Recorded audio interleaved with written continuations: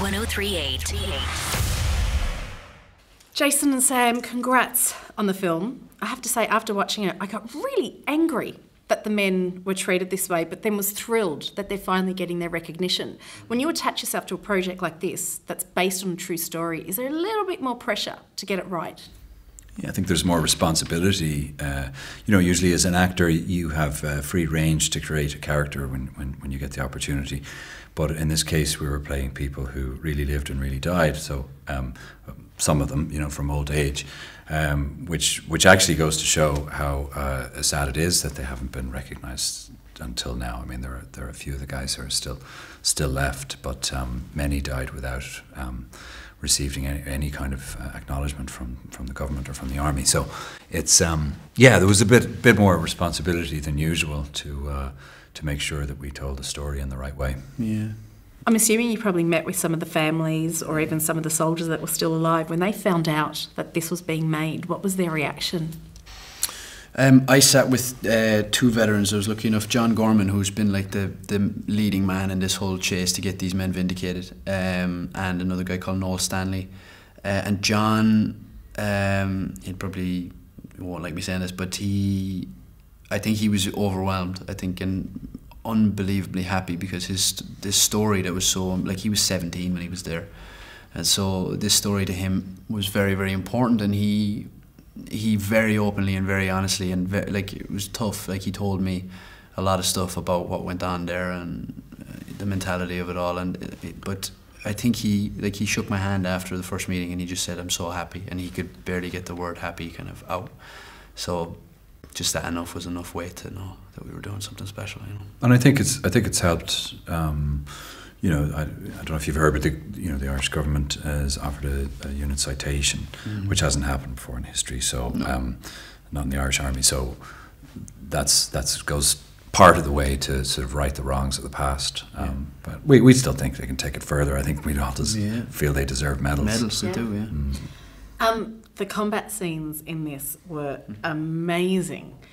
How long does a scene like that take to film? And how nervous are you filming that? Because you don't want to be the guy that stuffs it all up and you have to take another take. There's some occasions where we didn't have another take. So, like, there's yeah. there was one scene I shot with uh, where the Fouga jet is uh, flying low over the compound, and um, I uh, I'm running for cover, and I end up sort of running right in between this the strafe of the bullets, and so I had to sort of run the gauntlet through these previously laid. Um, pyrotechnics, and if I'd gone a little bit left, a little bit right, I could have lost a finger or a toe. uh, and I was told right before it, uh, listen, we have one shot at this because we don't have time to lay them again or the money to blow them up again. So let's get this right. So. Um, it was good in a way. It just kind of made you even more nervous and, and no pressure. No pressure. pressure but it puts the pressure on. But then oh you have to just make sure you get it right. And, yeah. and uh, I think we got it right most of the time. Yeah, definitely. Yeah, there's moments like it's terrifying when there's a helicopter coming at you with a camera mounted on the front of it and you have to perform. But uh, and there's so many. It's like an orchestra of, of chaos.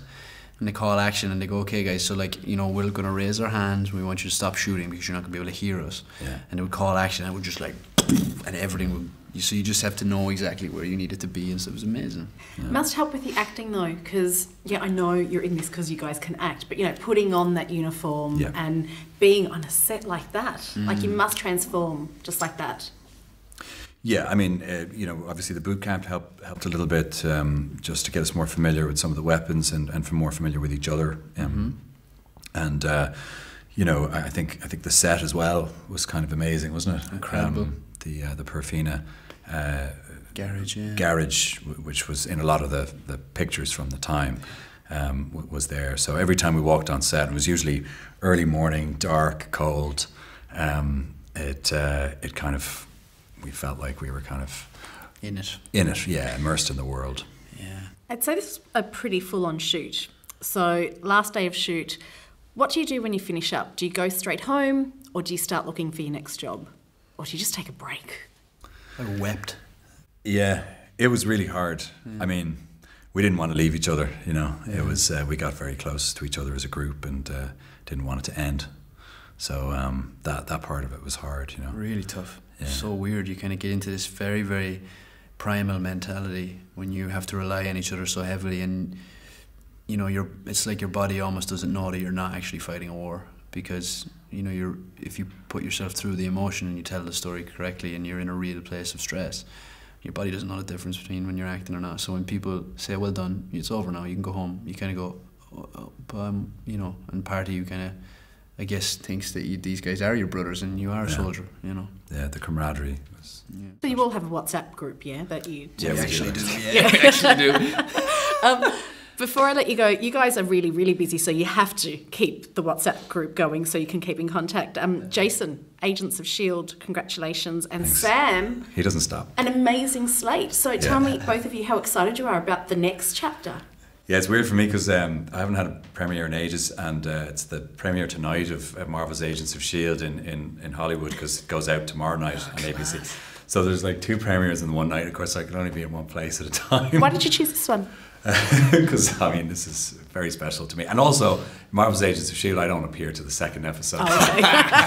so I had, I had a good pass on Yeah, that one. exactly. Uh, but uh, yeah, so so um, it's it's an exciting time at the moment, and it's, and it's like buses, you know, you're waiting for ages, then two come along at once. exactly and Sam, you've got a really full slate as well. Yeah, it's mad. I kind of I don't really know. Uh, I shot six films last year, and I don't really know which is coming out first. So I just kind of like uh, wait for them to tell me where I need to go and stuff. Yeah, I, I mean I'm. Yeah, I mean it's been busy. I'm really happy, so I'm just looking forward to see, seeing how it's received, and hopefully people won't be sick of me. Not at all. Well, lads, congratulations. Enjoy the reunion tonight. Thanks Thank a you so much. Spin 1038. number one. For music and entertainment.